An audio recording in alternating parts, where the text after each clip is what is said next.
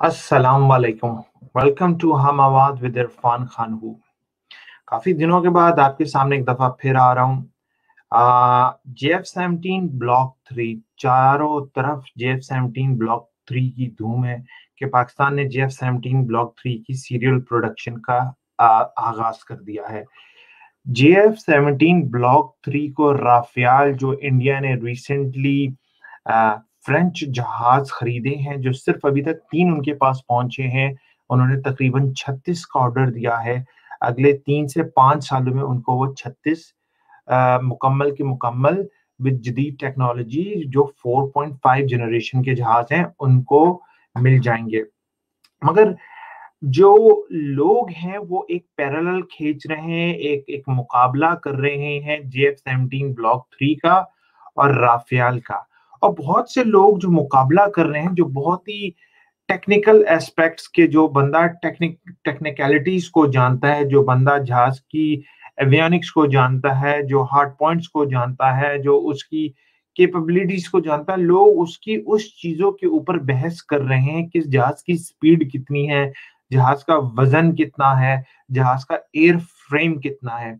इसी चीज़ों को मद्देनजर रखते हुए मैंने recently air marshal retired air marshal Shahid Latif साहब का इंटरव्यू किया। और इंटरव्यू करने की यही रीजन थी इंटरव्यू करने की यही रीजन थी कि मैं आप लोगों तक वो चीज़ें पहुँचा सकूँ जिसके जानने के लिए आप लोगों को, जिसके जानना बहुत ज़रूरी है कि न्यू फिफ्थ जनरेशन वॉरफेयर जिसकी तरफ़ हम जा रहे हैं और जो फोर्थ जनरेशन जहाज़ जे सेवनटीन है अब इसका मैार इसको तोलने का, इसको नापने का कि ये किस मैार का जहाज़ है?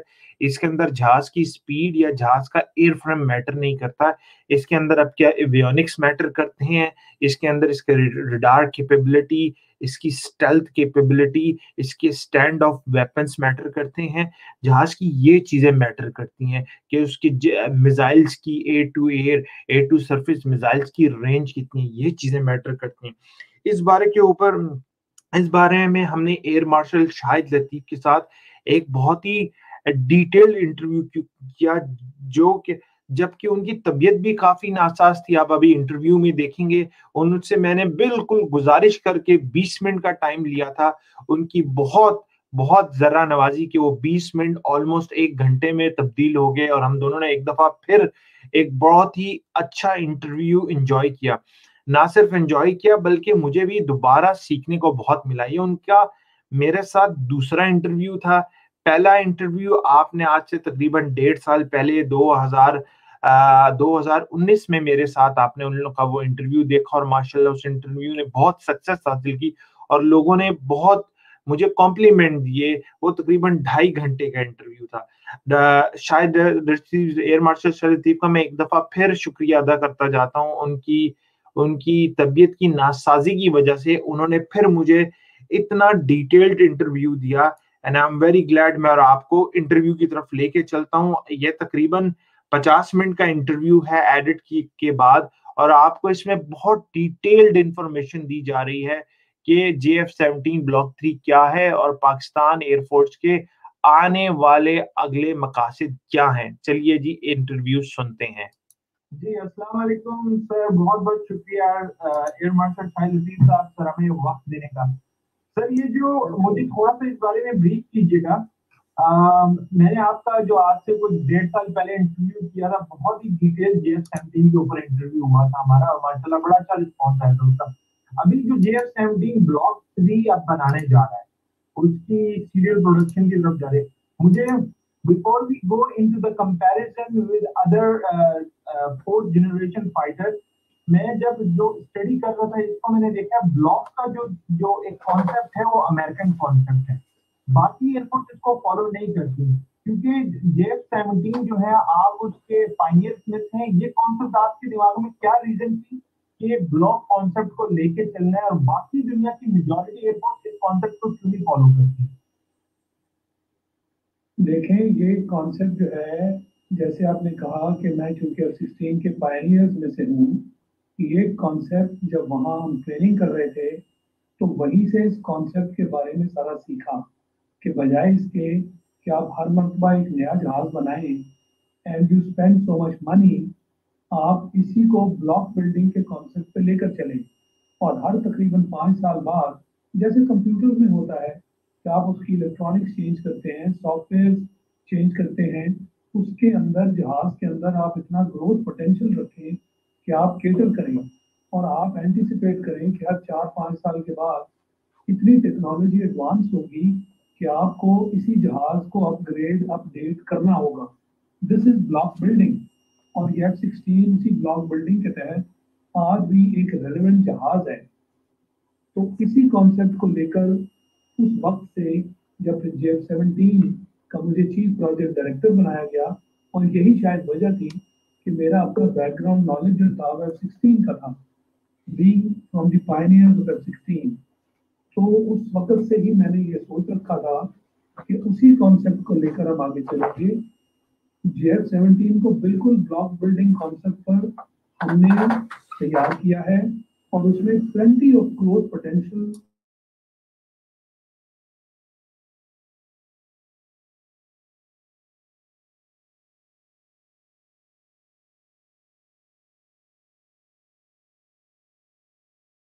block three ना। जी जी है। जी, मैं यही कहना चाह रहा था कि ब्लॉक थ्री में जो चीज़ें ब्लॉक वन एंड टू में हम नहीं कर सके थे, वो हम अब ब्लॉक थ्री में करने जा रहे हैं और in this block block building concept will continue throughout the life span of sir, मुझे जो ब्लॉक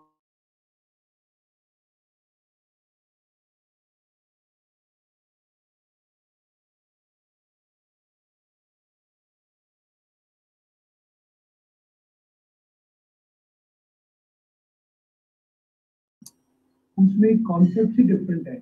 जैसे एफ़ सिक्सटीन जब आया था तो कन्वेंशनल जहाजों से हमने बहुत बड़ा जंप लिया था। इसको हमने फ्लाई बाय वायर बनाया। तो fly by wire is a different concept altogether ये जो जहाज़ था, फिर इसकी स्टेबिलिटी और इसका लिफ्ट ऑगमेंटेशन जो कॉन्सेप्ट था, वो भी कन्वेंशनल जहाजों से डिफरेंट था।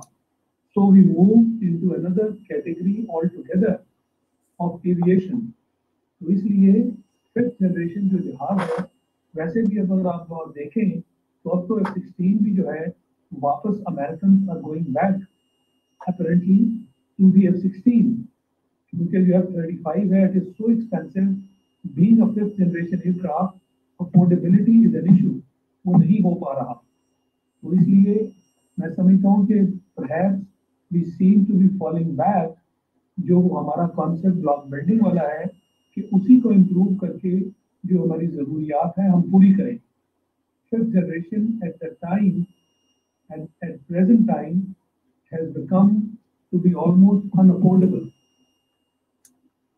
अब आप वहाँ बैठे हैं you can verify the statement is are making is it true that the American are tending to go back to the F rather than go forward for the F five जो कि fifth generation है? Sir, अगर let suppose अगर इस बात को देखिए, जब गोइंग बैक टू F16 तो F16 को ही इतना केपेबल बना दिया जाए कि वो फिफ्थ जनरेशन के बाकियों को कम्पीट कर रहा हो। नहीं, ज़रूरी नहीं है कि फिफ्थ जनरेशन की बाकी चीज़ों को, जहाँ तो मेजर उसके अंदर डिफरेंसेस हैं, कि उसमें जनरेशनल डिफरेंस है, वो तो शायद एफ़ सिक्सटीन में पूरा ना कर सकें। बट एफ़ सिक्सटीन को कैपेबिलिटी वाइज आप उसके इतना करीब ले जाएँ कि जो कॉस्ट वर्सेस बेनिफिट रेशो है उसमें एफ़ सिक्सटीन सरपासेस फिर एफ़ सिक्सटीन ही चलाएँ आप। क्योंकि एफ़ थर्टी फाइव तो कोई अफोर्ड नहीं कर पा रहा। तो आप जितना हम लोग जे एफ़ अभी ये क्या कहते हैं जे एफ़ सेवनटीन जितना हमारा। है जे एफ़ सेवनटीन का जो ब्लॉक फोर्थ आएगा इसके बाद क्या इसकी जो इसकी मॉडरेशन में क्या होगा? फोर्थ के बाद। फोर पॉइंट फाइव होगा क्या होगा इसके बाद? अभी थ्री फोर आया है थ्री के बाद फोर आया ऐसा मेरा ख्याल है it is too early to predict कि क्या होगा। ये डिपेंड करता है कि हम कितनी चेंजेस करने जा रहे हैं और ब्लॉक बिल्डिंग में जो अभी तक है, वो वन टू और ये थ्री है। Apparently, the next one should be block four and then five. We are going by solid digits. तो वक्त के साथ साथ अगर हमें दरमियान में कुछ और करना पड़ता है तो वक्त के साथ हम उसका भी फैसला करेंगे। मगर अभी तक we are going by solid digits और वही चल रहा है। ब्लॉक थ्री तक तो ऐसे ही हुआ। सही अच्छा मुझे एक चीज़ और बताइएगा जिसका अभी ब्लॉक थ्री मैंने देखा है अमेरिका के अंदर there working on six generation क्योंकि अमेरिका तो फिफ्थ जनरेशन यूज़ कर रहा है। और मैं पढ़ रहा था there working on this six generation क्या जितना मैंने आपके इंटरव्यू में सुना आपने कहा कि Pakistan is going take give और take around 10 years for a fifth generation to be तो अगर 10 साल में हम अपना फिफ्थ जनरेशन कंप्लीट करते हैं तो दुनिया क्या हमसे दो या तीन स्टेप और आगे नहीं होती होगी अब सिक्स और सेवन जनरेशन में 10 साल बाद पहुँच चुके हों वो आप ठीक कहते हैं, पर ज़रूरी नहीं है कि हम इसको को रिलेट करें कि हम फिफ्थ पे होंगे तो somebody may have progress to six or even seven ये हम कह नहीं सकते। ये कोई इस तरह का रेशो नहीं है। क्या इतनी ही तेज़ी से सिक्स और सेवन तक पहुँचेंगे? क्या वो सिक्स और सेवन में जो कॉन्सेप्ट हैं, उनको वो निकाल लाएँगे कि जिसके तहत एक जनरेशनल गैप और आ जाए इसको इतनी देर पहले कहना मेरे ख्याल में थोड़ा मुश्किल है। सही सही।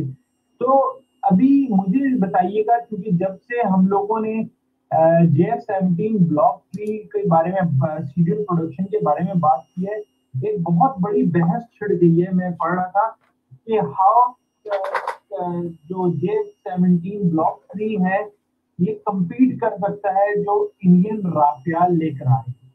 हमें देखा जाए मुझे मुझे जितना पाँच पॉइंट्स बताएगा जिसके ऊपर, जितना जितना एवियोनिक्स है, जितना जितना इसकी मिसल टेक्नोलॉजी है स्टेल्थ कैपेबिलिटीज है, कोई जितना अब जनरेशन वॉरफेयर के जितने ये न्यू लेटेस्ट जहाज़ आ रहे हैं, इसमें मेन चीज़ें जो होती है, इसके ऊपर जहाज़ की कैपेबिलिटीज को जज किया जाता है इन कंपैरिजन टू अदर तो पहले तो लोग समझते थे कि स्पीड ऐसी होनी चाहिए, मगर अब जो जैसे जैसे टेक्नोलॉजी चेंज हुई है स्पीड और एयर फ्रेम से ज़्यादा ये कौन सी चीज़ें, पाँच चीज़ें जिनके ऊपर जहाज़ को दूसरे जहाज़ के साथ कंपैरिजन किया जाता है which is more good for us देखिए मैं अगर इन सारी चीज़ों को सम अप करूँ तो in general I can say that weapon and avionics technology has bypassed the airframe technology और कैपेबिलिटी टेक्नोलॉजी की जगह आप लफ्ज कैपेबिलिटी यूज़ करें कि आजकल जो वेपन्स एंड एवियोनिक्स कैपेबिलिटी है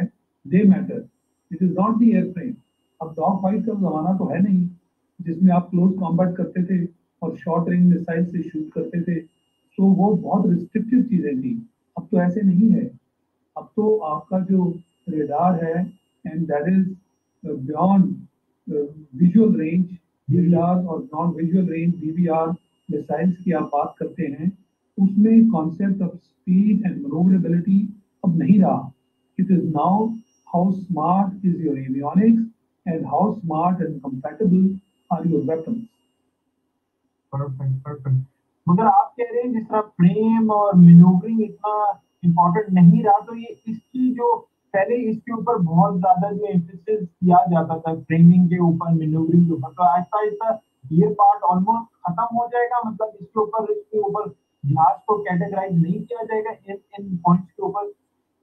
मेरा ख्याल है अभी हम जहाज़ का जो कंपैरिजन है, उसमें इन पॉइंट्स को ज़्यादा एम्फेसिस नहीं देते। आज जो आप बात करते हैं उसके अंदर आप कंपैरिजन करते हैं एवियोनिक्स वेपन्स एंड जहाज़ की जो स्मार्टनेस है based on these two factors तो एयर फ्रेम का उस तरह कंपैरिजन हम नहीं करते कि रेट ऑफ़ टर्न क्या है मैक्सिमम वेलोसिटी क्या है मिनिमम स्पीड क्या है, वो सारी चीज़ें अब हम उनको कंपैरिजन में नहीं रखते। जो लाइन कंपैरिजन करते हैं, उनमें इन चीज़ों को इंक्लूड करना ऑलरेडी खत्म हो चुका है। इसका मतलब है व्हाट मैटर्स आप कह रहे हैं स्टेल्थ कैपेबिलिटीज हैं वेपन कैपेबिलिटीज हैं इसके एवियोनिक्स हैं ये ये चीज़ें सबसे ज़्यादा मैटर करती हैं इसमें। They are the ones they जहाज़ की जहाज़ की स्पीड है या उसमें दो इंजन है इसमें एक इंजन है वो मैटर नहीं करेगा। दे डोंट बिल्कुल ये आप ठीक कह रहे हैं। बिकॉज़ मैं जितने मैंने एनालिसिस पढ़े कंपैरिजन पढ़े लोग उसको जहाज़ की स्पीड के साथ वेट के साथ dual engine single engine dual चिल्डर single चिल्डर बहुत कम लोग जो है उसको ऑन द बेस ऑफ़ जहाज़ के अंदर डज इट मैटर सर जहाज़ के अंदर कितने हार्ड पॉइंट है जिस जहाज़ में जितने कम हार्ड पॉइंट्स हो वो उतना because they because they relate to the relate to the weight capability. कि आप जहाज़ के ऊपर वेट कितना ले जा सकते हैं? वेपन्स हैं। जहाज़ के ऊपर पॉड्स लगते हैं मुख्तलिफ़ के भी पॉड्स लगते हैं इलेक्ट्रॉनिक पॉड्स लगते हैं. जो जहाज़ के अंदर चीज़ें नहीं आ सकती, उनको आप पॉड्स पे कैरी करते हैं. And all that is hanging weight on the aircraft तो जहाज़ के अंदर जितनी कैपेबिलिटी ये होगी, उसके हार्ड पॉइंट्स होंगे, जिस पे you can carry the external equipment that will give more capability to the aircraft in terms of the hard point does matter. अच्छा मुझे एक और बात एक और बात बताइएगा मैं देख रहा था तो मिजल टेक्नोलॉजी है जिस तरह जिस तरह इंडिया ने फरवरी सत्ताईस को जो किया था उसमें मेरा ख्याल है उन्होंने स्पाइक स्पाइक से इजरायली स्पाइक स्पाइकर के स्पाइक नाम था उनका वो यूज़ किया उन्होंने। जिनकी मैक्सिमम कैपेबिलिटी 60 किलोमीटर थी राइट सर जी। 60 किलोमीटर थी। गौरव मुझे जी जी। बट द पॉइंट इज़ कि उस दिन हुआ क्या? What was the end result आपने अभी बात की कि जी रफाल को कंपेयर किया जा रहा है तो रफाल तो फिर बात की बात है, क्या Su thirty fourth generation top of the line जहाज़ नहीं था? क्या उसको हमने नहीं गिराया? That is the point to ponder कि ये कहना बहुत आसान है कि जी इसकी कैपेबिलिटी उसकी बेहतर है। पेपर पे तो आप बहुत सारा काम कर लेते हैं in comparison but in the actual warfare जो कुछ हुआ वो हम सबने देखा कि we shot down a Su thirty aircraft that day और हमारे यहाँ जो पैकेज था वो जे एफ़ सेवनटीन और एफ़ सिक्सटीन पैकेज था। जी ट्वेंटी वन तो चले ऑब्सलीट है बट सू थर्टी तो ऑब्सलीट नहीं है। सर मुझे बिल्कुल बिल्कुल सही कहा आपने। इसमें मैंने देखा हमारे ओल्ड मिराजिस ने बड़ा इंपॉर्टेंट किरदार अदा किया जिस तरीके से उन्होंने तो उन्होंने तो जो ग्राउंड अटैक किए उसके अंदर स्टैंड आउट वेपन्स गिराए। बिल्कुल। Ground attack their role was mainly ground attack जो हमने ज़मीन पे उन पे टारगेट तबाह किए, वो स्टैंड आउट वेपन्स के साथ किए। एच टू टाइप वेपन्स क्योंकि अपने एरिया में आप रह के उसको लॉक करते हैं and it goes and strikes across the border and it is being guided those are guided weapons अब वो जे एफ़ सेवनटीन पे भी हमने लगा लिए। अच्छा जो पहले जो आपने, हमने मिराज के लिए यूज़ किए थे और जेएफ सेवेंटीन के भी हैं। J F seventeen is also capable of doing air strikes with the same weapons with the same weapon sir अब आपको ये लगता है कि डॉग फाइट का जमाना बिल्कुल खत्म होता जा रहा है। रियली और क्या आपको ये भी लगता है जैसे जैसे डॉग फाइट भी एंड हो रही हैं क्या आपको लगता है आने वाले कुछ might be next ten years क्या हमें पायलट की भी ज़रूरत नहीं पड़ेगी? ये सारे जो जहाज़ हैं ये ऑटो ऑटो पे चले जाएँगे। हम ग्राउंड से बैठ के कंट्रोल करेंगे इनको। नहीं मेरा ख्याल है कि yes ultimately we must be thinking and moving in that direction मगर एज ऑफ़ नाउ जो फोर्सिएबल विजन है फ्यूचर है मैं उसमें पायलट्स का रोल खत्म होते फ़िलहाल नहीं देख इवन कि ऐसा भी नहीं देखते कि ग्राउंड से पायलट ऑपरेट करे जहाज़ के कॉकपिट में ना बैठा हो। आपके हैं वो already drones are being operated by pilots on ground बिल्कुल। ड्रोन हो गया ना जी आपके। तो अभी तक ड्रोन्स को उस कैपेबिलिटी तक हम नहीं ले जा सके कि जहाँ उनको आप हवा में ऑटो पोजीशन में छोड़ दें and they do the job themselves without the without the assistance of the pilot ऐसा नहीं हुआ।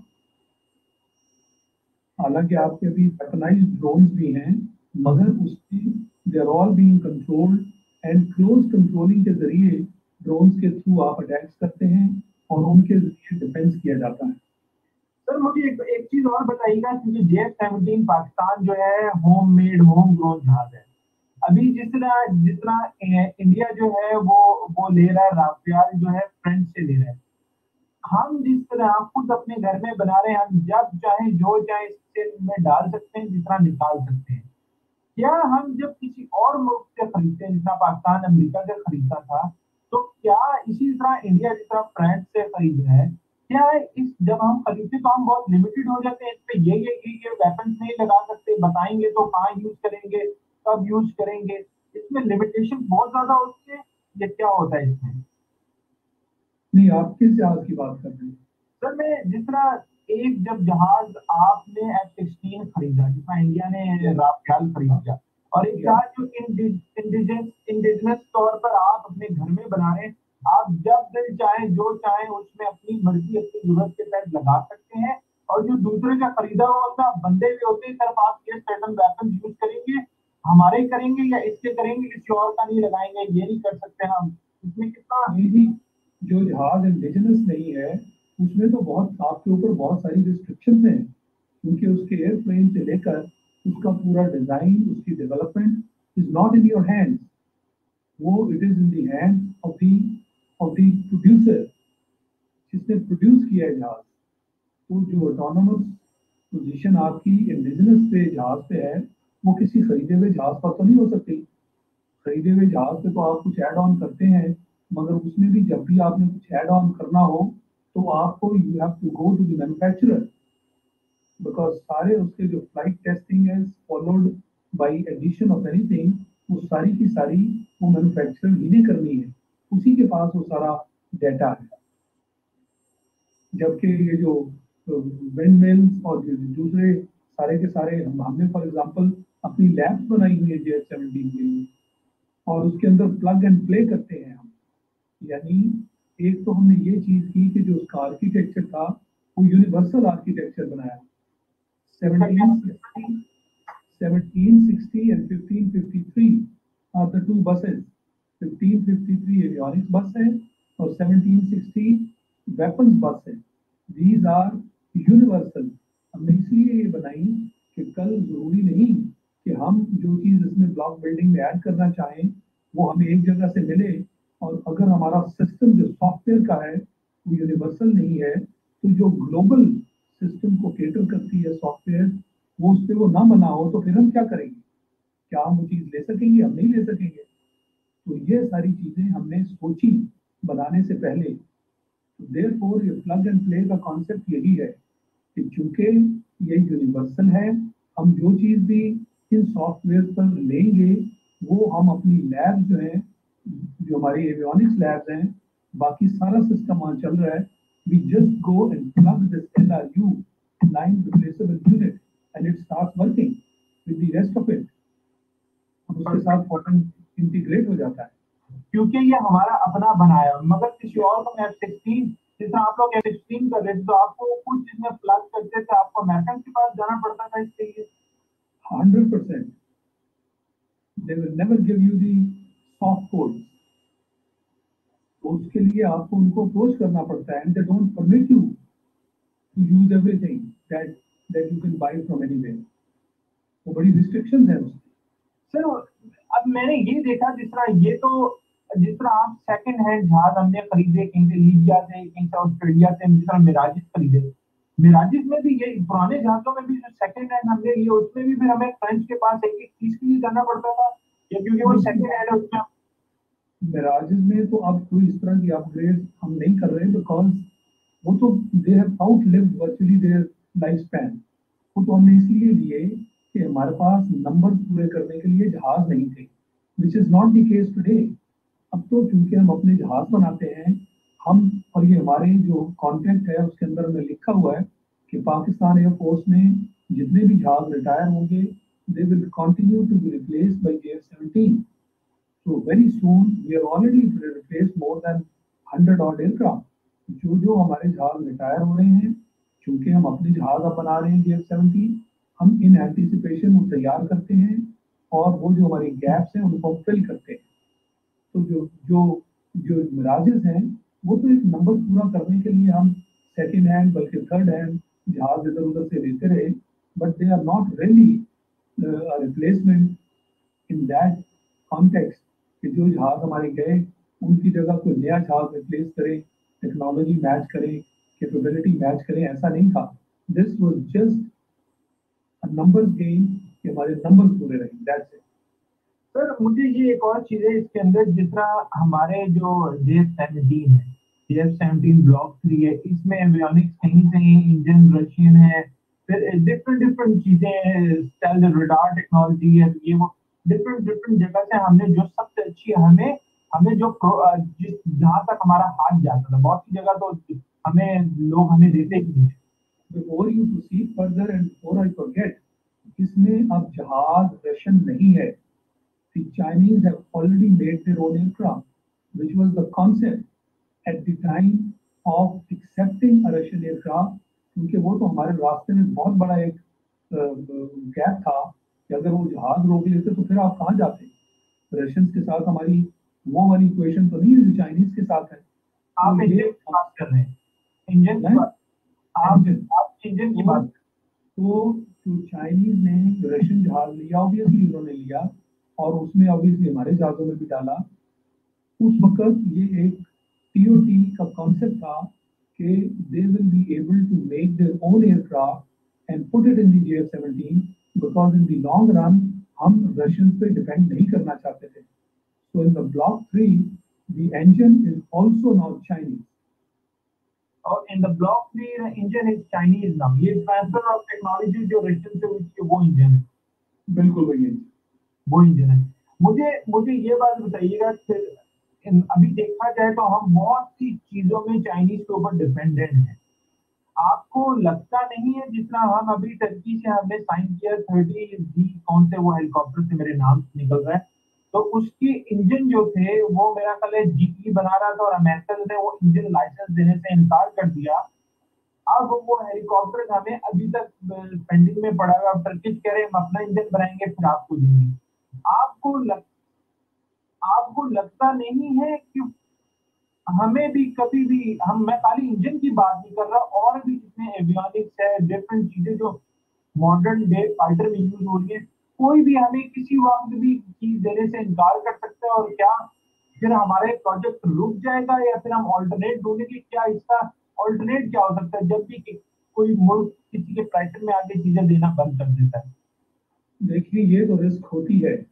जब आप किसी से कोई चीज़ लेते हैं तो वो किसी वक्त भी उसे रोक सकता है। इसकी बेस्ट अल्टरनेटिव यही है कि जो चीज़ भी आप लें, उसका आप transfer of after all seventeen कि हमने क्यों ट्रांसफ़र ऑफ़ टेक्नोलॉजी चीन से पूरी ली ताकि हम सारा खुद कर सकें, वरना हम चाइना पे हमेशा के लिए डिपेंडेंट रहते हमने नहीं ट्रस्ट किया। तो द बेस्ट थिंग इज़ कि इंडिजनाइजेशन आप करें। वक्त के साथ साथ वक्त लगे बेशक, मगर इसको इंडिजनाइज करें, ताकि कल को आपको अगर कोई रोकना चाहे तो इतनी आसानी से आपको रोक ना सके। Otherwise you will always ripen remain dependent on others and this can never ever be your own problem Are we going to transfer? Because last time हमारी जो बात थी जो जितना मैंने पढ़ा है इंजन अभी तक हम इंजन की तरफ़ नहीं गए। Engine is a very complex technology और हर चीज़ खुद बनानी जो है वो भी कॉस्ट इफ़ेक्टिव नहीं हुआ करती। एफ़ सिक्सटीन के पार्ट्स अगर आप देखें तो वो तो ऑल ओवर द वर्ल्ड बनते हैं। And America buys them from there और उनकी सिचुएशन डिफरेंट है। वो तो, तो वो तो वो तो आप जानते हैं अमेरिका तो जिसको देता है कॉन्ट्रैक्ट वो तो खुश हो जाते हैं। वो हम तो बहुत हम पे तो हम तो कहते हैं कोई चीज़ कोई हमें दे दे अमेरिका के तो हम में नहीं है तो but at the same time ज़रूरी नहीं है कि हमें जल्दी हो कि हम इंजन भी बनाना शुरू कर दें। To a great extent we can rely and trust rely on and trust the Chinese तो मेरे ख्याल में हाँ हमें in the long run we must march in that direction but उसके लिए हमारे पास टेक्नोलॉजी एंड कैपेबिलिटी ऐसी होनी चाहिए that we should be able to take up the engine, which is like very complex. Inshallah.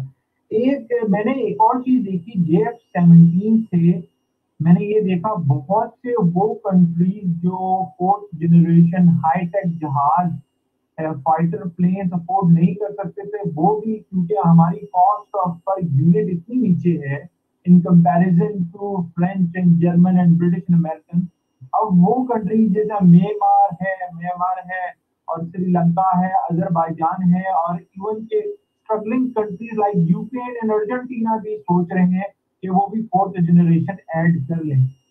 क्या क्या आपको लगता है कि आने वाले दिनों में अगर हर मुल्क जो जो गरीब मुल्क है, जो पहले फोर्थ या फिफ्थ जनरेशन जहाज़ के ऊपर हाथ नहीं रख सकता था, इस कॉस्ट प्राइस पे हम मार्केट को टोटल रेटल कर देंगे। ये काफ़ी अगर इसी तरीके से कस्टमर हमारी तरफ़ आते रहे because of price point and जो जो हम क्वालिटी भी दे रहे हैं जिस प्राइस पॉइंट में तो ये बड़े प्लेयर्स के लिए काफ़ी अपसेटिंग होगा और क्या पता हमें फिर सेंक्शन किसी अनडिस्क्लोज सेंक्शन लगा दी जाए। देखिए आपकी बात बिल्कुल ठीक है। मार्केट में आपको जी एफ़ सेवनटीन की कैपेबिलिटी का जहाज़ at the price that we are wanting to sell बिल्कुल नहीं मिलेगा। और इसीलिए शायद अमेरिका ने एक अनडिस्क्लोज और अननोन किस्म की सेंक्शन लगा रखी है। वरना there are many other countries that would want to buy this aircraft अभी तो आपने छोटे मुल्कों के नाम लिए, वो बाय नॉट जब उनको वो कैपेबिलिटी जो यूरोप के जहाज़ों में है यूरो फाइटर में है, जो ग्रिफन में है, जो इन ऐसे जहाज़ों में, वो तो इससे बहुत ज़्यादा पैसे पे ये जहाज़ देते हैं। वो वो तरफ़ क्यों जाएँगे? और फिर सैंक्शन वगैरह भी वो लगा देते हैं, जो कि पाकिस्तान और चाइना ऐसा नहीं करते। तो उनको इसमें बेनिफिट है। और मेरे ख्याल में जो खासकर गरीब मुल्क हैं, उनके लिए जे एफ़ सेवनटीन एक बहुत बड़ी ऑप्शन है। मगर अमेरिका का चूँकि डर है, उनकी सेंक्शन का डर है तो इसलिए गरीब और छोटे मुल्क भी खुल्लम खुल्ला इसकी तरफ़ नहीं आ रहे।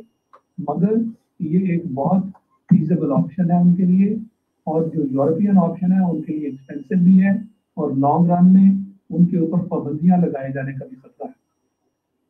तो सर मुझे सवाल ये हम इसको मेंटेन बिकॉज़ इवन कि मैं चाइनीज़ भी देख रहा था जो जे टेन जे ट्वेंटी बनाए हैं वो भी ऑलमोस्ट आपके से काफ़ी वो वो तो यूरोपियन मार्केट और अमेरिकन मार्केट के बहुत करीब करीब है उसी प्राइस पॉइंट के करीब आती है। तो हम लोग उनसे बहुत नीचे थे इवन हम लोग चाइनीज़ के लिए चाइनीज़ भी नहीं सोचेंगे ये तो इतना सस्ता बेच रहे हैं ये हमें भी तो नुकसान है। नहीं चाइनीज़ को इसलिए नुकसान नहीं कि हम ये ज्वाइंटली नहीं बेच रहे। हम अगर ये देंगे तो पाकिस्तान एज एन इंडिपेंडेंट जो है मैन्युफैक्चरर देगा। और दूसरा, जहाँ तक चाइनीज़ का ताल्लुक है I don't think we are threatening them they are not marketing G F seventeen इस मामले में हमारी उनकी कंपटीशन हो सकता है, मगर you are talking J twenty you are talking fifth generation उसमें yes they are competing against America and Russia but उसमें हमारी अभी उनके साथ रेस नहीं है। अभी तक हमने हाँ जे टेन वो कर रहे हैं बट जे टेन वो हमें भी देना चाहते थे। वी रिफ्यूज हमने तो जे सेवनटीन के साथ जे टेन में इतने सारे उसके अंदर फॉल्ट निकाले थे कि इनको ठीक करो तो भी will look at J seventeen अब J F ten J F ten हमारे मुताबिक जे एफ़ सेवनटीन के बराबर नहीं है। इट इज़ स्टिल क्रूड और उसमें ओल्ड टेक्नोलॉजी है compare to J seventeen sir, मुझे एक और चीज़ आप ये बताइएगा, जितना पाकिस्तानी पायलट खास तौर पे हमारे पास एक बहुत बड़ा एज है कि हमने फ्रेंच भी यूज़ किए हैं, हमने अमेरिकन भी यूज़ किए हैं, हमने रशियन भी यूज़ कर लिए हैं और हमने चाइनीज़ भी यूज़ किए हैं। और जहाँ तक मैं, जहाँ तक मुझे थोड़ा है, पाकिस्तानी पायलट ने गल्फ में जाके यूरोपियन भी यूज़ किए हुए हैं। गल्फ कंट्रीज़ में जाके जितना हमारे पायलट ने क्या ये ये जो एज है, ये चाइनीज़ को हासिल नहीं है, क्योंकि वो ज़्यादातर चाइनीज़ और रशियन तक महदूद है। और ये एज रशियन को भी हासिल नहीं है, वो ज़्यादातर रशियन और वो भी चाइनीज़ पे ही ज़्यादातर महदूद है। क्या जो हमारे पायलट का नॉलेज था, सारी रशियन जहाजों के बारे में चाइनीज़ के बारे में और यूरोपियन और अमेरिकन के बारे में, हमने क्या इस टोटल नॉलेज को जो है का निचोड़ जेफ सेंटीन में डाला है, क्योंकि चाइनीज़ के पास तो वो चीज़ थी नहीं, जो एक्सपीरियंस जो नॉलेज अमेरिकन और अमेरिकन और यूरोपियन का ऑब्जर्वेशन बिल्कुल ठीक है, और चाइनीज़ जो है इसको ओपनली एक्सेप्ट करते हैं, और वो कहते हैं कि ब्रेनवेयर पाकिस्तान का था hardware in terms of manufacturing and designing हमने इनको हेल्प की बिकॉज़ वो इनके पास नहीं था। तो ब्रेनवेयर है ही हमारा, और फिर हमारा वॉर्स का भी तजर्बा है। जो कि चाइना में नहीं है। तो इतने सारे जहाज़ ऑपरेट भी हमने किए वॉर एक्सपीरियंस भी है। लिहाजा ये हमारी ब्रेन वेयर थी जो चाइना ने इस्तेमाल की और जे एफ़ सेवनटीन बना। वो इस हद तक अब मानते हैं कि बल्कि फिफ्थ जनरेशन की तरफ़ मूव करने में भी ये सारा जो हमारा नॉलेज है, ये हमारे काम आया है। एंड दे ओपनली प्रेज अच्छा वो जे जे सॉरी जे ट्वेंटी में ये सारा नॉलेज जो उन्होंने आपके साथ कलाब्रेशन में आके जब उन्होंने अप्लाई किया। क्योंकि इसको ओपनली एक्सेप्ट करते हैं। सर, क्योंकि मैं रिपोर्ट पढ़ रहा था चाइनीज़ जो थे, पाकिस्तान को अपना वो जी हेलीकॉप्टर जो हम लोग ने कोबरा को रिप्लेस करने के लिए हम खरीद रहे थे, और पाकिस्तान पाकिस्तान मिलिट्री ने, पाकिस्तान आर्मी ने उनको 42 पॉइंट्स की लिस्ट दी थी कि ये जो है ये जो है चीज़ें इंप्रूव करने वाली इसी तरह इसी तरह की एक बड़ी लंबी चौड़ी लिस्ट जे टेन के बारे में हमने बनाई थी। And I was the I was leading that team जिसने जे जे जे जे टेन की असेसमेंट की थी and we rejected it because of these points कि ये तो जे एफ़ सेवनटीन से भी पीछे है। आप कह रहे थे कि जे एफ़ सेवनटीन से एक बेहतर चीज़ जे टेन ले लें, ये बेहतर नहीं है। अब उन्होंने जे टेन को काफ़ी बेहतर कर लिया है। Once again looking at J seventeen हमने उसके अंदर जो स्पेक्स यूज़ किए थे, वो अमेरिकन स्पेक्स थे। Whereas the Chinese wanted to use the Chinese specs even on J seventeen हमने रिफ्यूज कर दिया कि हमें ये एक्सेप्टेबल नहीं है। क्योंकि लाजमी चीज़ है यूरोपियन जहाज़ उसका जो फिनेस और उसकी जो स्पेसिफिकेशंस थी, उनको यूज़ करते हुए हम उनसे पीछे कैसे रह सकते थे? Because we were looking ahead हम तो आगे की तरफ़ देख रहे थे। लिहाजा हमने एक्सेप्ट नहीं किया।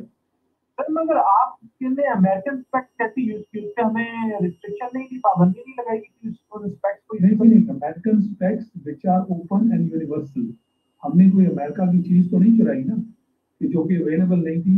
They are available in the open literature तो उन स्पेक्स को यूज़ करते हुए हमने अपने प्रोडक्ट्स बनाए। उस जहाज़ की जो हमने ओवरऑल जो जहाज़ की जो सूरत बनाई उन स्पेक्स की बिना पर मुख्तलिफ़ कंपोनेंट्स और मुख्तलिफ़ जहाज़ के हिस्से तैयार किए। उससे तो हमें कोई नहीं रोक सकता।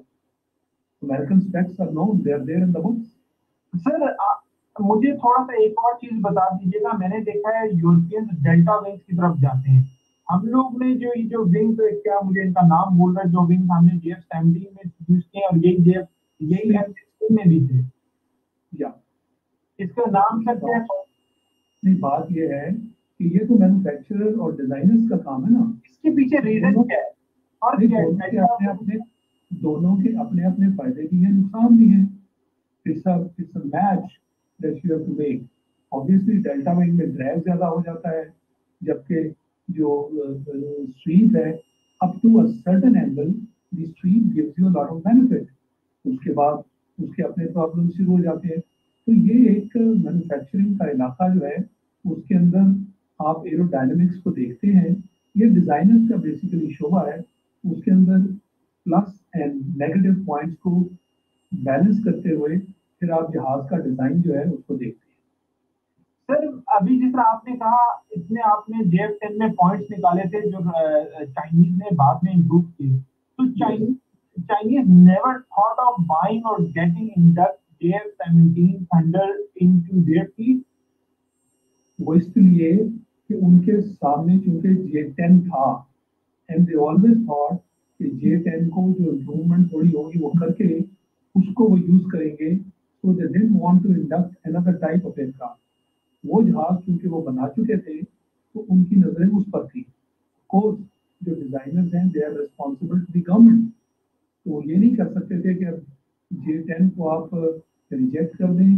बहुत सारा पैसा लगा उसको भी बनाने में तो वो रिजेक्ट कर दें तो they can't throw that in the dump इसलिए उन्होंने फिर एक नए जहाज़ की बजाय उसी को इम्प्रूव करने में बेहतरी समझी। मगर चाइनीज़ कोई भी ब्लॉक सीरीज़ में नहीं आया जिस तरह आप लोगों ने ब्लॉक सीरीज़ में no they didn't they didn't build aircraft on this concept देखिए ना यही बैकग्राउंड थी ना हमारी। ये कॉन्सेप्ट है 16 का है और ये हमारी बैकग्राउंड थी। मैं उसमें चूँकि था। मेरी अपनी बैकग्राउंड में वो था। लिहाजा जैसे मैंने कहा कि हमने जब स्पेक्स की भी बात की तो हमने कहा कि we will use American specs हमें नज़र आ रहा था कि डिफरेंस एफ़ 16 में और एक क्रूज जे एफ़ सेवनटीन जो वो प्लान कर रहे थे, वो क्या था? तो उसको रिमूव करने के लिए, क्योंकि वो चीज़ें हमने जे टेन में देखी। तो उसको रिमूव करने के लिए हमने डिमांडिंग वो चीज़ देखी कि जिसके अंदर जहाज़ जो है, उसके अंदर ऑटोमेटिकली एक यूनिवर्सल टच आए rather than just the Chinese touch आज तक कौन सा चाइनीज़ जहाज़ है जिसको एयर शोज़ में बुलाया जाता है? जे एफ़ सेवनटीन को आपने देखा कि कौन सा non air show in the world air show in the world, they यहाँ जे एफ़ सेवनटीन को इन्वाइट नहीं किया जाता? चाइनीज़ जहाज़ तो mainly their duplication of the Russian sir क्या कि उन्होंने फिर अपना जहाज़ फ्रॉम द ड्राइंग बोर्ड शुरू किया and with the help of Pakistani they were able to pull through sir क्या जे एफ़ टेन भी चाइनीज़ रशियन कॉपी है? जे टेन की बात कर रहे हैं आप? ये ये भी रशियन कॉपी था? नहीं. Yeah I don't want to name this was a structure that they picked up from another country. मैंने पढ़ा था इजरायली स्ट्रक्चर पिक किया मैं वो। तो फिर अगर आप you are right it is the same and वो उस वक्त वो जहाज़ उन्होंने बनाया था और वो compete कर रहे थे when there was competition in the F-16 times फिर वो फिर उनके आगे नहीं चला सेलेक्ट नहीं हुआ and that the Chinese bought from them और वहाँ से फिर उन्होंने उसको फिल करना शुरू किया। तो अब जो जे ट्वेंटी है ये हंड्रेड परसेंट इनका अपना इंडिजिनस ये indigenous it is it is all Chinese और आई डोंट नो आप लोगों को हमारे हमारे पायलट को मौका मिला है उसको देखने का उसमें कितनी कितना केपेबल वो जहाज़ है जे टेन आप लोग समझते हैं इतना केपेबल नहीं था। जे ट्वेंटी कितना केपेबल जहाज़ है? Fifth generation such as such fly करने का मौका तो नहीं मिला, मगर जो उसको देखा है, उसके सिस्टम और जो जहाज़ का आर्किटेक्चर है it is fairly modern like the Russian and the American because उसी के साथ उन्होंने कम्पीट करना है ना फिफ्थ जनरेशन में। These are the three countries that have made fifth generation aeroplane and they are out in the public now sir अभी आपने जिसे कहा बिकॉज़ मैंने आपके दूसरे भी इंटरव्यू सुने मगर मैंने जब रिसर्च की कोरिया साउथ कोरिया भी फिफ्थ जनरेशन पे काम कर रहा है जापान भी कर रहा है और टर्की भी कर रहा है। टर्की ब्रिटेन के साथ मिलकर फिफ्थ जनरेशन पे काम कर रहा है। और रशिया ने तो और रशिया अमेरिका और चाइना के अलावा फिफ्थ जनरेशन तो रशिया यूज़ भी नहीं कर रहा है। रशिया ने तो अभी उसकी सीरियल प्रोडक्शन का अनाउंस किया उन्होंने उसको पैक करके उसके काफ़ी हिकअप्स है उनकी जो फिफ्थ जनरेशन में उन्होंने उसको फिक्स किया अब उन्होंने अनाउंस किया कि उसकी सीरियल प्रोडक्शन शुरू करेंगे। तो तो हम लोग तो अब ये टर्की जो बना रहा है ब्रिटेन के साथ मिलकर तो हम लोग ये पाकिस्तान ने नहीं सोचा ब्रिटेन या किसी यूरोपियन के साथ मिलकर भी कुछ मेंशन किया जाए जिसका अमन जो हमारा एक और फिफ्थ जनरेशन अमन प्रोजेक्ट आ रहा है। यही है ना जो प्रोजेक्ट जो कि हमने स्टार्ट कर दिया है। अब कामरा के पास हमने ऑलरेडी एक एविएशन सिटी जो है, वो ऑर्गेनाइज कर ली है। And from all over the country we are picking up people training them and and taking them into this into this project और जहाँ तक जॉइंट वेंचर की आप बात कर रहे हैं, हमने ये इरादा कर लिया था कि जी एफ़ सेवनटीन के बाद हम मजीद कोई जॉइंट वेंचर नहीं करेंगे। We will try to do it our self माशाल्लाह, हमारे जो यंग इंजीनियर्स हैं, जिनको हमने इंडक्ट किया था वो अब इतने एजुकेट हो गए हैं कि वो खुद कहते हैं कि ये काम हम खुद करेंगे।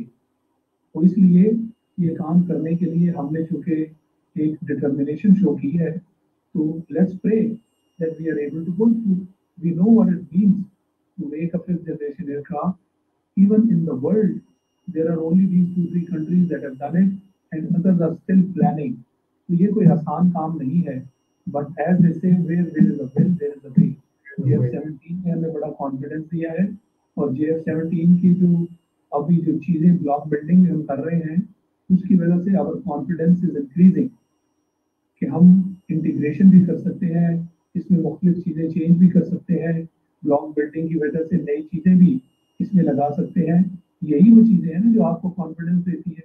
And they are leading us towards the generation sir, जब हमारे पास अमन का, अमन जो प्रोजेक्ट का फिफ्थ जनरेशन आ जाएगा तो क्या समझते हैं जेएफ सेवनटीन लॉन्ग टर्म में कहीं डिसकंटिन्यू करना पड़ेगा फिर हमें?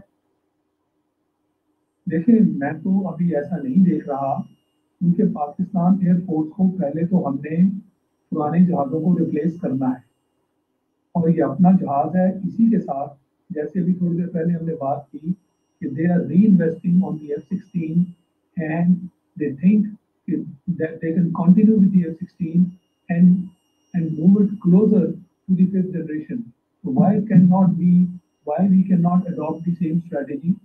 हम अपने जहाज़ जो हैं इनमें इन्वेस्ट करें इनको अपग्रेड करते जाएँ एफ़ सिक्सटीन तो अपग्रेड होते रहे और होते चले जा रहे हैं तो इसलिए मैं समझता हूँ कि अभी हमें इसको फ़ेज़ आउट करने वाला बिल्कुल नहीं सोचना चाहिए that time is too far block building जब तक हम कर सकते हैं, इस जहाज़ को मजीद कॉम्पिटेंट बना सकते हैं तो बनाते जाए। सर, अभी आखिरी जब एंड ऑफ़ आवर शो मुझे एक बात, कुछ चीज़ बताइएगा जो 27 फरवरी को हुआ। मैं वो पढ़ रहा था, वो पहली बार डीवीआर जो जो हमने सिस्टम यूज़ किया, दुनिया में पहली बार हुआ, उसको प्रैक्टिकली किसी वॉरफेयर के अंदर यूज़ किया गया और सक्सेसफुल उसकी इम्प्लीमेंटेशन हुई वहाँ पे। इज़ इट राइट उससे पहले अब तक सबने अपने जो है टेस्टिंग ग्राउंड पे तो यूज़ किया किसी ने प्रैक्टिकल बैटल फ़ील्ड में नहीं टेस्ट हुआ था वो। नहीं हमारे पास जो बीबीआर है वो हमारा भी हमारा अपना बीबीआर है जीएफ सेवनटीन का। नहीं इंडिजिनस नहीं है। But that is what we had plan और हमने अब यूज़ भी कर लिया। जो जो एफ़ सिक्सटीन में है वो तो एम रैम है। तो अब एम रैम और इस जो बीवीआर की कॉम्बिनेशन हमारे पास that gives you more leverage use भी किया कामयाब भी हुआ। तो I think we should feel happy with that perfect उसकी रेंज भी ज़्यादा है एम रैम से। जो रडार हम यूज़ कर रहे हैं उसकी भी रेंज ज़्यादा है। And that is where the JF-17 in aerial combat performs even better than the F-16. Sir, but we are using in, in block three we are missing that big stealth part. So that थोड़ा सा stealth है मगर इतना नहीं है. नहीं stealth का देखें ना असल तो stealth जो है that is in the airframe. तो अगर आप कोटिंग करके stealth बनाते हैं that is not the kind of stealth जो कि आप जैसे आपने देखा ना फिफ्थ जनरेशन में stealth is in the airframe और ये का उसका डिज़ाइन उसका एयरफ्रेम ऐसा बनाए कि जिसके अंदर स्टेल्थी क्वालिटी आए। तो स्टेल्थ जो है, वो till such time that we go on to the on to the fifth generation इसी तरह, इसी एयरफ्रेम के साथ आपको कोटिंग वगैरह करके करके आपको जहाज़ जो है, वो स्टेल्थी बनाने पड़ेंगे।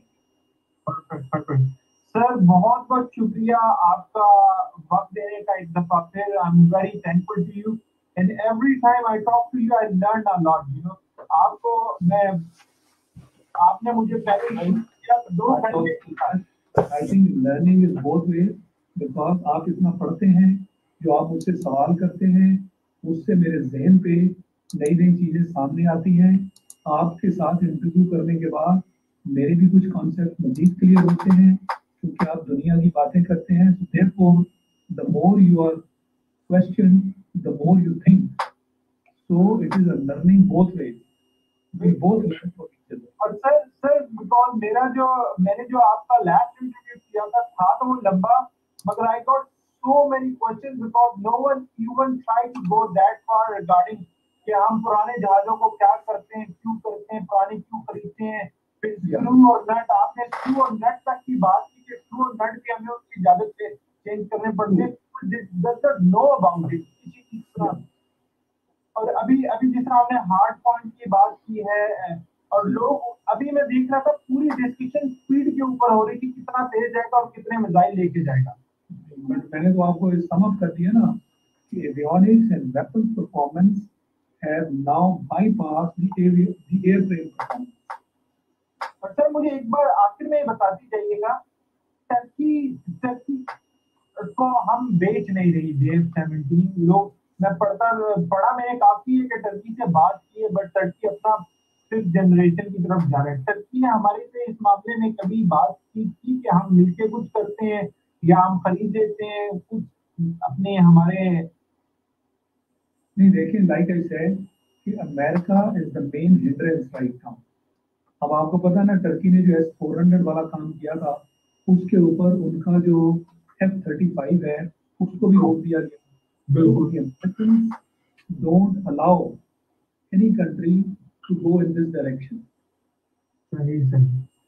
चलिए सर टर्की इस तरफ़ नहीं जाना चाहेगा because of it's personal safety they don't want too many sanctions to be placed on them.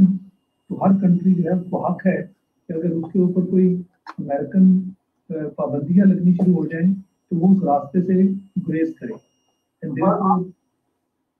And therefore Turkey uh, Turkey would much uh, would rather want to uh, be with Pakistan in many ways and in many areas, but इस तरह की जो restrictions हैं, they would they would they would stay away. और आपको लगता है आने वाले दिनों में जितना मैं पढ़ रहा था मुझे पता अभी तक फाइनलाइज कोई चीज़ नहीं हुई अर्जेंटीना के लोग टीम हाई उसमें जेएफ टीम सारी प्रोडक्शन ली अर्जेंटीना इज़ टेकिंग इंटरेस्ट बहुत बहुत बड़ी मार्केट है and we are moving forward with them successfully so far. MashaAllah. And what about the Ukraine? Ukraine भी यूरोपियन छोटी यूरोपियन मार्केट है उसका क्या कुछ चांस लगता है नहीं बट यूक्रेन जो है वो तो ऑब्वियसली वो जो उनकी आपस में जब हुआ था डिसइंटीग्रेशन ऑफ़ रशिया तो Ukraine is still bias towards Russia तो मेरा नहीं ख्याल कि यूक्रेन इस तरफ़ आएगा खासकर चीन वाला मामला पाकिस्तान वाला मामला। Ukraine will perhaps still move in that direction मगर यूक्रेन का तो रशिया के साथ कॉन्फ्लिक्ट चल रहा है। क्या आपको लगता है वो यूरोप से खरीदेगा क्योंकि उनको वहाँ से अब वो यूरोप की तरफ़ मूव कर रहे हैं ज़्यादा? हाँ जो यूरोप वाला जहाँ रशिया भी यूरोप की तरफ़ देखता है वहाँ Ukraine will also move in that direction but Pakistan की तरफ़ नहीं आएगा जबकि उनकी टीम आके विज़िट करके भी गई थी तो आपको नहीं लगता वो आगे चलेगा मामला? आई डोंट थिंक और अजरबैजान वाला क्या लगता है आपको? Azerbaijan is a possibility. Azerbaijan is moving with Pakistan in many ways. वो क्या वो लेंगे हमसे right? There is a bright chance that they might go और बांग्लादेश का मैंने बांग्लादेश का भी पढ़ा था कोई चांस है? बांग्लादेश लेगा हमसे बिल्कुल बांग्लादेश का भी चांस है। और और एक और बांग्लादेश के साथ थोड़ा सा इंडियन फैक्टर है एक ड्रैग बट बांग्लादेश का चांस है। बात हुई उस बारे में क्योंकि मैं पढ़ा था बातचीत हुई है मगर अभी तक आगे का कुछ पता नहीं है। हाँ नहीं आगे नहीं बनी इच्छा और इजिप्ट का कोई चांस इजिप्ट इंटरेस्टेड भी था फिर ड्रॉप हुआ वो मामला उसका। इजिप्ट का चांस है बट इजिप्ट वांट्स को मैन्युफैक्चरिंग कैपेबिलिटी और वो हम अभी चाहते। वो अब इसलिए नहीं दे सकते कि हमने इस पर बड़ी मेहनत की है तो को मैन्युफैक्चरिंग तो किसी के हवाले नहीं कर सकते। बिकॉज़ डिफ़िकल्ट टाइम्स तो हमने सारे बर्दाश्त किए। जब आप खुद इस तरह का डिज़ाइन डेवलपमेंट कर रहे होते हैं तो it may flop and you may lose all the effort all the hard work time and money तो उस वक्त तो रिस्क कोई नहीं शेयर कर रहा था। तो अब यकदम कोई दरमियान से आगे लेटरली तो अब इन्वॉल्व करे और कहे जी, अब please now you give us the transfer of technology and we would want to do it ourselves वो it is very difficult to do that sir आने वाले दिनों में क्या लगता है कोई गल्फ कंट्री स्टेप अप करेगा किसी आने पाँच सालों में इस तरह जेएफ सेवनटीन देखिए मैं तो बड़ी देर से ये कह रहा हूँ कि अगर अरब कंट्रीज़ में कुछ हमारे साथ हेल्प कर लें कि कुछ कंट्रीज़ हमारे ये जहाज़ ले लें तो this will spread in the entire Arab world but you once again know the connections of those countries with America starting with Saudi Arabia and therefore the American American influence in those countries कि नहीं आपने इस तरफ़ नहीं जाना। Sir जो फरवरी 27 को हमने बाइसन मार के गिराया था हमारी मार्केट एकदम बहुत ऊपर चली गई थी जेएफएमडी क्या आपको लगता है हमें क्या देखा था राफेल गिरा दें तो शायद मार्केट एक्सप्लोर कर देगी? ये ध्यान रखें अभी पहले रफाल को एयरबोर्न तो होने दें यानी आपको लगता है अगर ऐसा हो ऑन ग्राउंड एक जहाज़ उन्होंने लिया है अभी ये खरीदेंगे फिर इनको इनको कमीशन करेंगे फिर इनको सिस्टम में इंटीग्रेट करेंगे। It's a long long time inshallah the uh, the Rafale will meet the same fate as that of Su-30 mark my words hopefully hopefully by our next interview I don't know when will we meet again but by that but by that time I still believe कि अगर इनके पास Rafale आए induct हो जाएँ और फिर एक और बालाकोट हो इंशाल्लाह we will do the same that we did to them on 27 February और सर आपको क्या लगता है लेट्स सपोज़ एक राफेल हम गिरा दें तो मार्केट क्या होगा JF 17 definitely it will go very high because Rafale का नाम लेके इंडिया जो है, वो तो बहुत बड़े नारे लगा रहे हैं। मिस्टर मोदी इस सेम के रफाल होते तो नतीजा ही और होता। कैसे नतीजा और होता? ये तो हवा में खलाई बातें करने वाली बात है। मैंने इसका यही जवाब दिया था कि Su thirty is no less Su thirty के साथ जो हुआ, रफाल के साथ, अगर होता भी तो यही होता। बेशक बेशक। हमारी दुआएँ sir.